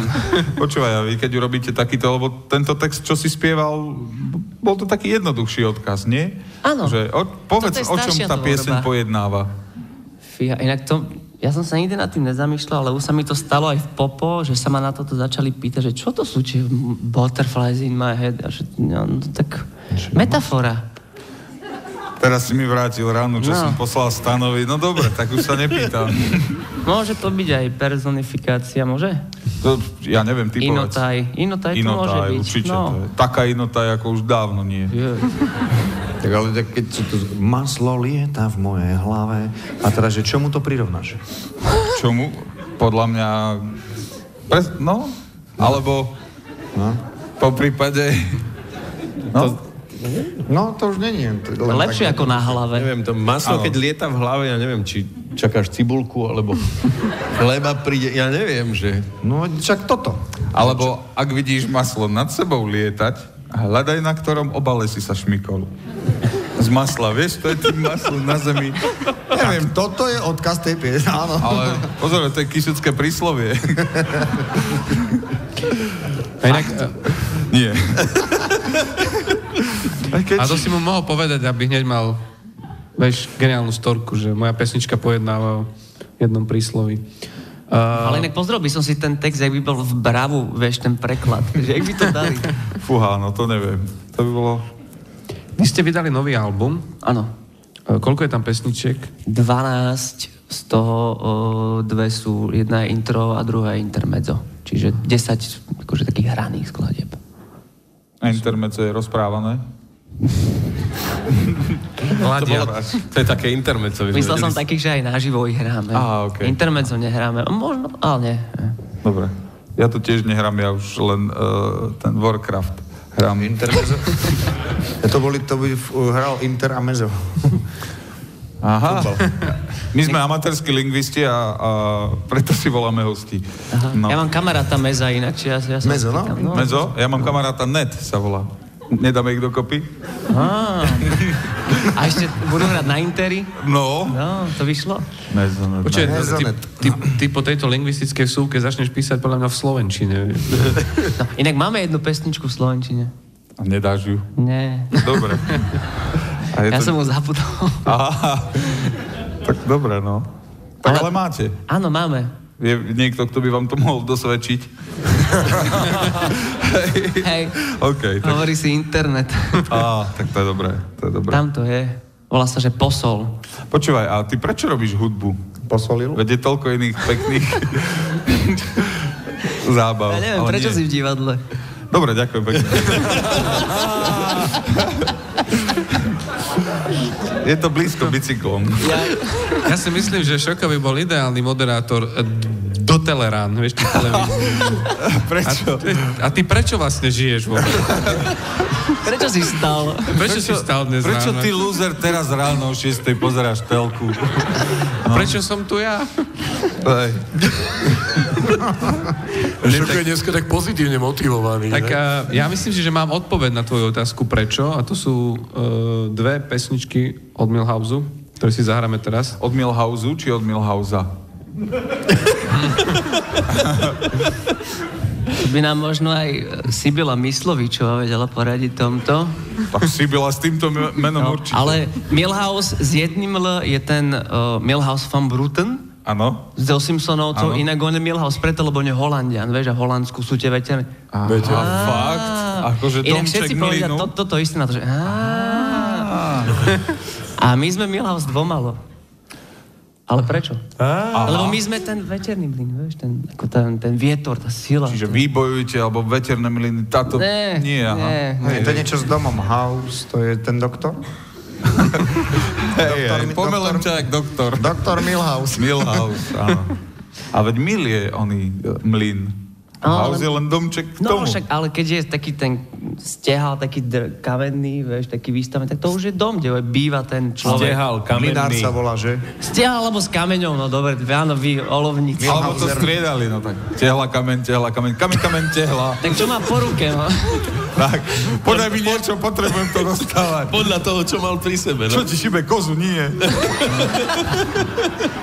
Mám stenu. Ale do, dojí stále. Ale chvala Bohu, dojí donútra. A vonku je len nosím sienko.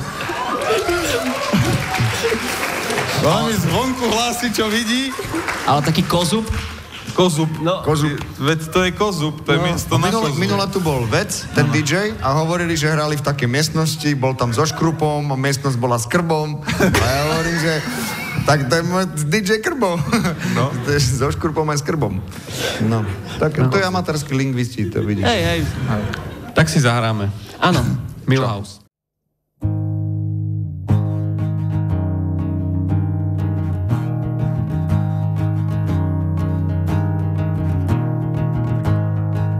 If the sun goes down in what you believe, if the cloudy sky where your God will be, if I could change your mind, I'd do it few times per day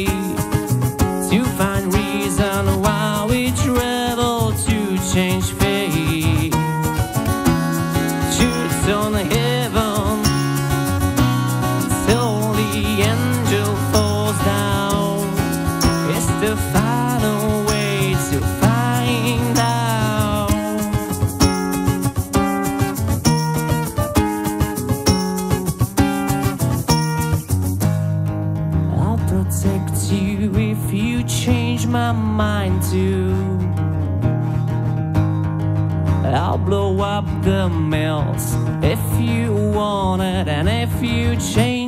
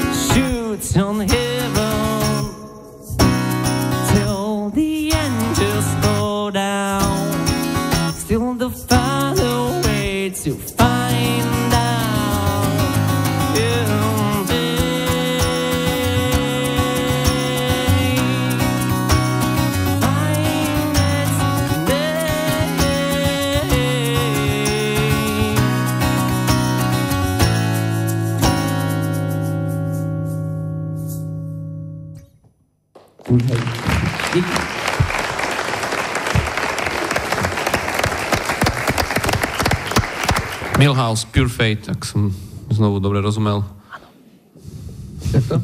Pure Faith. Akože uh, čistá viera, alebo... Pure fate. Nie ako osud, ale ako viera.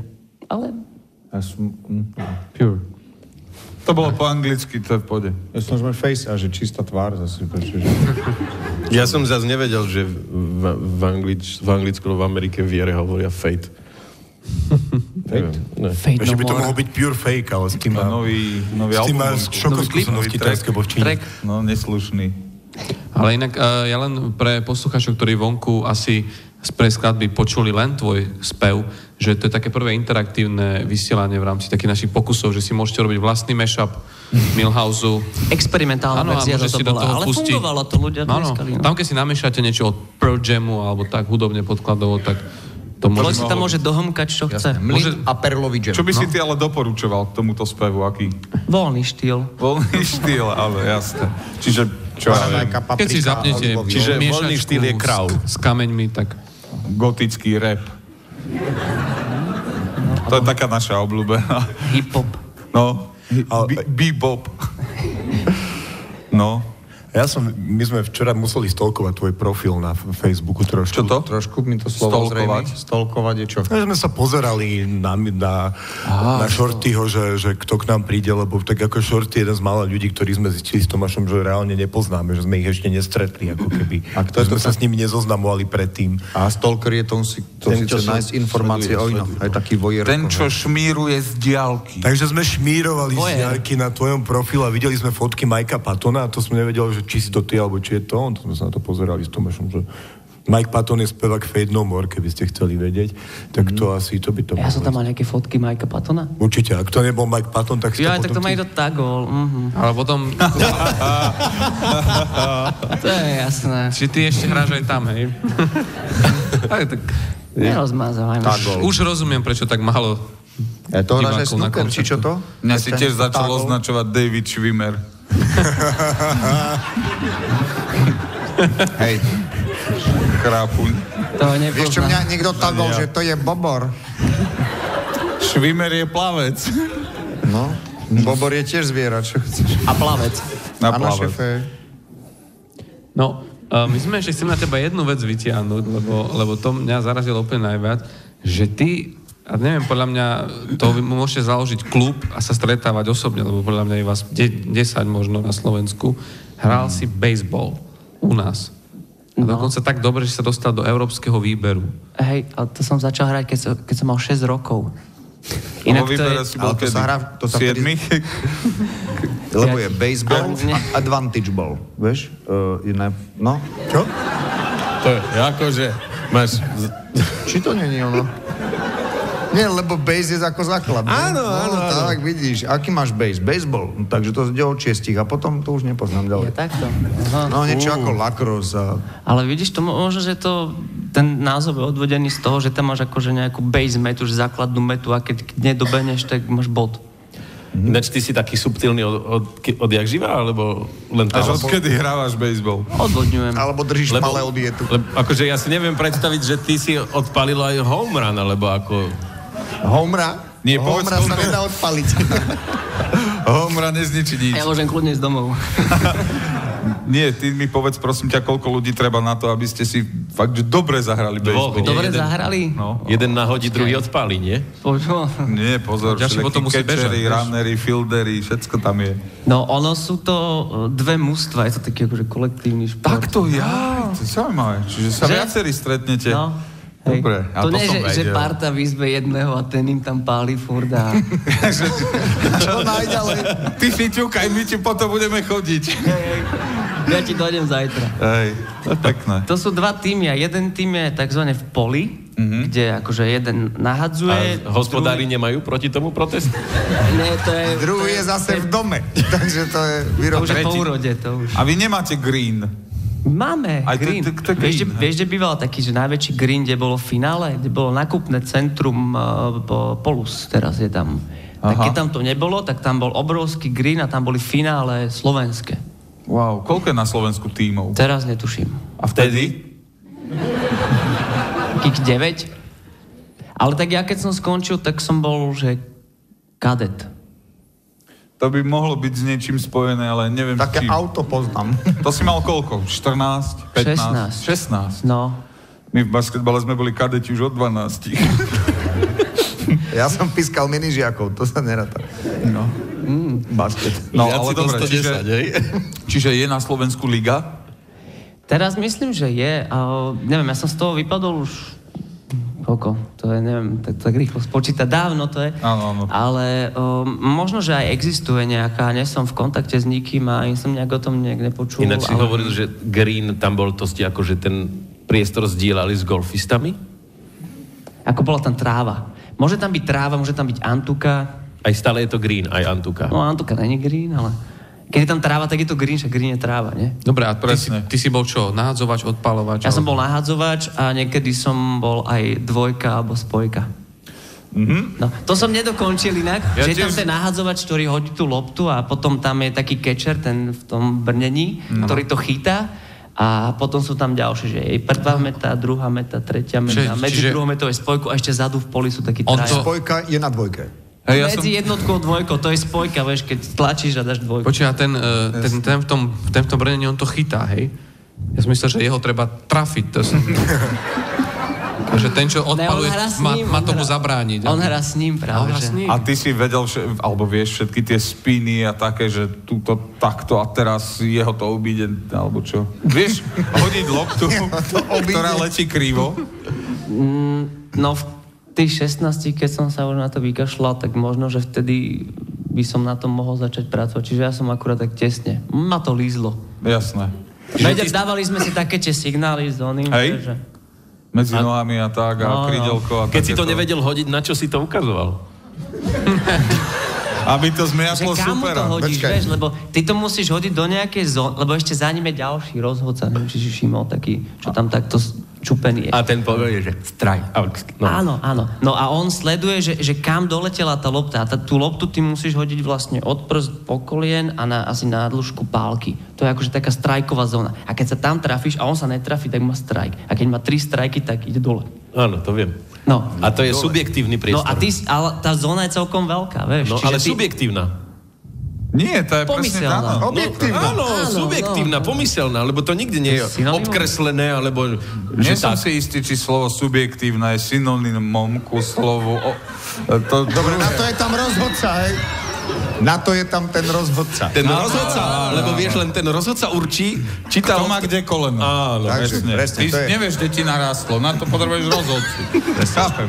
Ale povedzme si, každé rozhodovanie rozhodcuje, aké subjektívne. Chybné. No, Aha, pardon. Vy sa v tom normálne vyznáte, orientujete? Jasné, ja v tom mám v čom? hokej, no jasne, jak hokej, hokej, sme Ja mám bezboletí, hokej, hokej. absolútny. No ale nedopovedal som to. No veď čakáme, čakáme, to bolo len ja už toto. pri tom na... On mu, to tam, on mu to tam hodí, akože do tej zóny, akože do tej dobre, že by to akože mal trafiť. Áno. A on to netrafí. A to... A zakričí ten za ním, že strike! Presne. Strike one! A Jasné. potom, keď hodí druhý, tak strike two a potom, že strike out. Aha, že potom je A keď, výbor. áno, to je jeden z autov. To je, že tam Ja sa... by som si myslel A to fakt, je že... jeden z autov. A keď tá, je, keď tá skupina nazbiera tri auty, tak idú dole a tí, čo boli na palke, tak idú zase do pola a idú zase ty naháňať body. Ty vole, nechápem. Ja keby som toto hral, hej, keby som toto hral a tento to chytí a ten rozhodca povie, že strike, tak ja prestanem hrať, že akože netrafil, ja s ním nehrám, štrajkujem, že taký nekvalitný, vieš? No hlavne si nepredstav, že som to mal komentovať v televízii napríklad, vieš. Ja si neviem ani jedno, ani druhé predstaviť. Inak ja som to nikdy nevidel naživo, nejaký akože taký profi zápas, keď mm-hmm. som to hrával a potom s ostupom času, keď už došla aj kablovka, nejaké také kanály, kde aj bol takýto prenos nejaký, že finále. Takže wow, že kúknem si to, že to bude určite super zápas. 10 minút a posledných 5 minút som už úplne na ničím iným premýšľal. To, To sa nedá pozerať. to je to 15 nuda. trvalo? To sa... Ne, ja som to prepol potom. Aha. Mňa to nebavilo. To keď, po- keď niekomu pošleš, vieš, cez špedičnú službu nejaký balík, tak to je normálne väčšie dobrodružstvo, keď zistíš, kam ten balík prišiel, ako sa pozera na to, že ja som sa v tom nikdy, tiež som sa nevedel orientovať a vieš, že Američania o tom točia filmy a všetci, všetkých to tak rozčuluje. Ja neviem, že to je najkomplikovanejšia hra na svete, podľa mňa. to Ešte, pravý- ale sú aj. Ešte lacrosse, to je Každopádne, presne. my sme radi, šach. my sme radi, že si, presne. Čo? my sme radi, že si tú bezbolovú pálku vymenil za gitaru, lebo robíte to dobre, aj to, čo sme počuli, aj čo som mal možnosť počuť. A všetci, ktorí chcete Milhouse počuť niekde, tak najbližšie v Prešove v Kristianii už zajtra, že? Zajtra. A v sobotu tu v Bratislave v klube Randall. Tak. Tam to bude Tak naplné, na jak sa vraví, pecky. Uh, vyhajpované aj s bicími, dúfam. Tiež máte zvozy. Áno. Áno, treba sa Oni idú nahlásiť, autobusy odchádzajú z každého okresného mesta už, už zajtra ráno, takže nech sa páči. A Zadarmo, vlaky Zadarmo, to treba povedať, áno. Na nie- harmoniky. Nielen vlaky, ale aj autobusy. Oni to majú teraz tak spravené, že vezú do Prešova ľudí a z Bratislavy, čo tu pracujú a vlastne zadarmo majú dopravu, ale musia na koncert a potom zase naopak. Že Nie? Ak nie, študenti- tak to tak urobte. Tam si ich odfotím. Študenti, rozumný dôvod zajtra využiť vlaky zadarmo, Milhouse v Prešove. A teraz tu na Odveci FM naživo posledná pesnička. Ďakujeme za Toto bolo spoluprácu. Odveci FM, ďakujem pekne, že si Ďakujem za bol. pozvanie, pekný Ďakujeme aj Marošovi, že bol Ďakujeme. ochotný prísť robiť rytmickú sekciu. My sa vidíme v prvom decembrovom týždni, aj počujeme. A toto bolo posledné novembrové vysielanie od Veci FM. Milhouse. Nech sa páči. Milaus, pozor, tam kabel. Hrá to von? Super. Ide. Tak vám zahráme e, poslednú skladbu dnes večer a poslednú skladbu aj na našom albume na názov Can't Stand. Naživo asi nebudem. A možno, hej. Uvidíte, keď dojdete.